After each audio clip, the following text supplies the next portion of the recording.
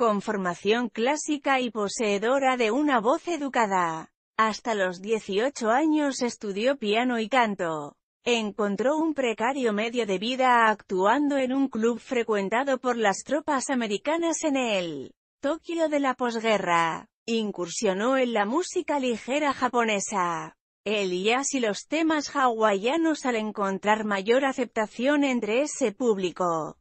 Aunque ya había incluido entre su repertorio varias melodías de tangos europeos. Fue con 24 años cuando escuchó por primera vez la comparsita interpretada por la orquesta típica Tokio y sintió con profunda emoción que debía cantar esa música. A través del coleccionista de discos de tangos y autor de libros sobre el tema Masaiko Takayama, escuchó temas de Azucena Maizani, Mercedes Simone, Ada Falcón, Libertad Lamarque, Hugo del Carril y Carlos Gardel. Desconociendo el idioma español, estudió con el Nisei Jorge Minoru Matoba, especialista en folclore sudamericano y principalmente tango, para alcanzar la verdadera entonación de este último.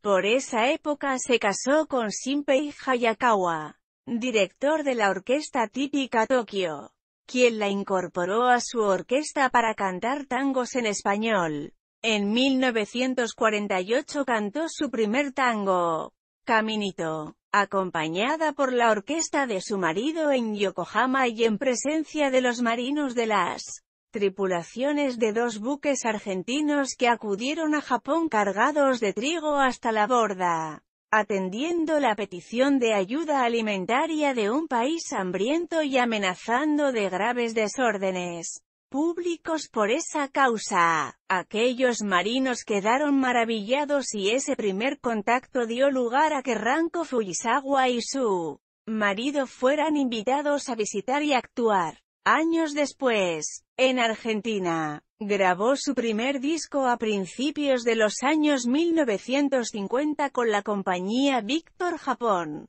En 1953 hizo su primera visita a Buenos Aires, donde pensaba quedarse apenas unos días como turista en una escala del viaje que abarcaba EU, Hawái, México y otros países por sugerencia del director de la emisora de radio Sira. Se presentó ante el público porteño debutando en el Teatro Enrique Santos Discépolo acompañada por Aníbal Troilo y Roberto Grela, contándose entre los asistentes al presidente de la República, general Juan Domingo Perón. Tras esta presentación exitosa, varias emisoras se disputaron su presencia siendo Radio Splendid la que consiguió que la artista cantara en ella durante un mes. Fue acompañada por la orquesta estable de esta emisora, dirigida por el maestro Víctor Buccino.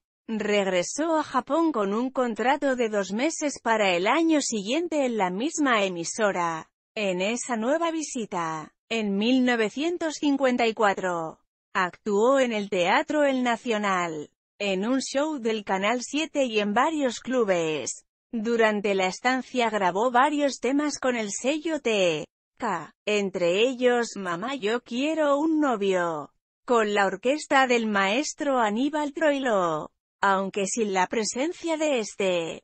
Viajó a Argentina por tercera vez en 1956, estrenando en esa ocasión el tema Recuerdos de Buenos Aires de Enrique Cadícamo y música de su marido Shinpei Hayakawa. Ese mismo año se editó en Japón una obra autobiográfica titulada Una extranjera en el tango. Su última visita a Sudamérica fue en 1964, actuando en esa ocasión acompañada de la orquesta típica Tokio, dirigida por su marido y también acompañada por los cantantes Iko Abo y Hideko Aoki. Fruto de esta gira fue el disco La Orquesta Típica Tokio en Colombia. Se retiró definitivamente de la vida artística en 1970, dando un último recital en septiembre de 1991. Su último lugar de residencia conocido es Nagaoka. El tango Mama, Yo quiero un novio. Fue un gran éxito de la cancionalista, que lo grabó en 1954 para el sello T. Cae en una curiosa versión donde mezcla la letra original con otra en japonés y el 17 de marzo de 1964 lo volvió a grabar con la orquesta de Miguel Caló para el sello Odón.